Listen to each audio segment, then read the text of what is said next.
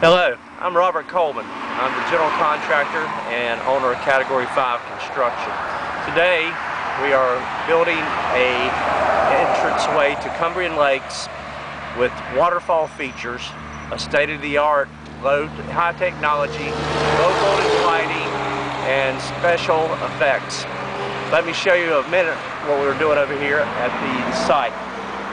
What we have here is what we call digging our footers in doing that, we lay the concrete foundation for the walls to be able to uh, be set in place. We're using a full poured wall rather than concrete block. It can withstand up to 250 mile an hour winds. Therefore, you do not have to worry about tornadoes or flying objects or hurricanes, of course.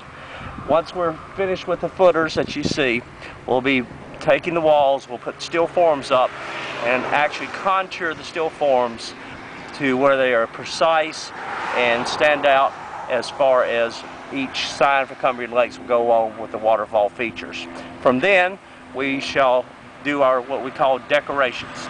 We bring in our rock, and our rock will be placed on this wall for a cosmetic effect, giving you the complete picture of an entranceway outlining the Cumbrian Lakes sign and the Cumbrian Lakes community that exists behind us.